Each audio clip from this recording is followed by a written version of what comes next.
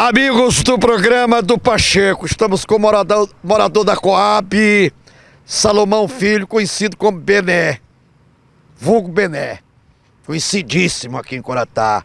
E aí, já limparam o poço da Coab? Nunca limparam e, e a gente não sabe mais nem o que fazer, porque conta, ainda agora mesmo chegou mais uma conta, certo? Todo mês não falta. E ainda nós, por sorte, ainda que tem uma água cebosa aqui na Coab, tem bairro aqui em Coroatá que nem isso não tem. E conta todo mês. Aí o, eu tive assistindo a difusora, ali a, a, a, difusora, o, o gerente regional da, da Caema pedindo pro povo é, pagar suas contas que em parcelamento e tudo. E cadê a limpação dos poços que eles não fazem? Em bairro nenhum.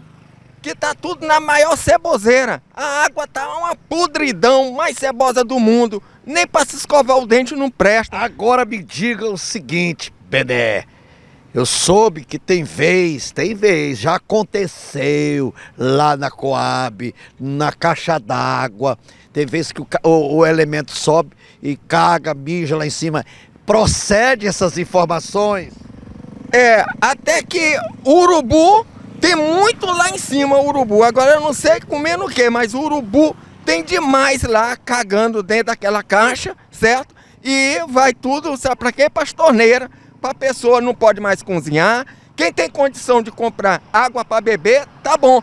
E quem não tem, vai pegar aí nos minador aqui da fonte aqui do rio. E quem não tem, bebe essa ceboseira que nós estamos bebendo aqui aqui no bairro da é, Coab Bené, e outros bairros. Eu tô perguntando para você, não é urubu. Eu tô perguntando para você que eu tive informações que tem gente subindo pelaquela escada e fazendo suas necessidades fisiológicas lá em cima. Procede o cara cagar na caixa d'água.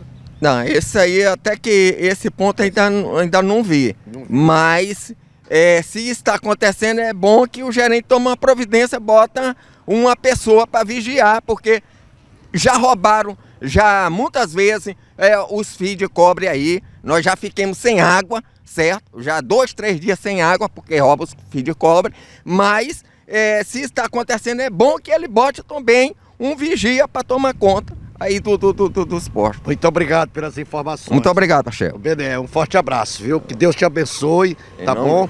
E não vamos esquentar muito não, senão dá um infarto. É, exatamente.